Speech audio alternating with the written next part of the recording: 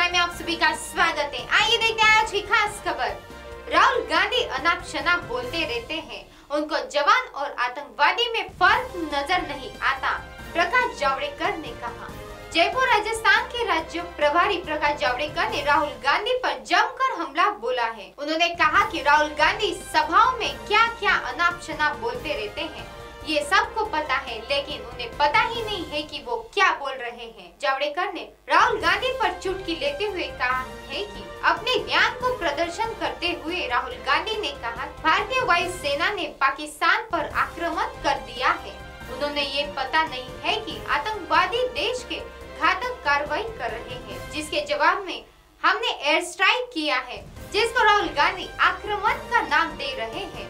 जावड़ेकर ने कहा कि राहुल गांधी को आक्रमण और प्रहार में अंतर नहीं समझ आता है कि आक्रमण किसे कहते हैं और प्रहार करना किसे कहते हैं। जावड़ेकर ने कहा कि राहुल गांधी कह रहे हैं कि भारत में बम गिराए, जिसमें हमारे जवान भी शहीद हो गए। लेकिन मैं एक बात बता दूँ कि राहुल गांधी को इनमें से मरे ज़रूर है, लेकिन हमारे जवान नहीं, आतंकवादी मारे गए हैं। तो खबरों में आज के लिए इतना ही। M N S news live की खबर देखने के लिए M N S Hindi app आज ही प्ले स्टोर से डाउनलोड करें और हमारे चैनल को लाइक सब्सक्राइब शेयर करना बिल्कुल भी ना भूले। तब तक के लिए धन्यवाद।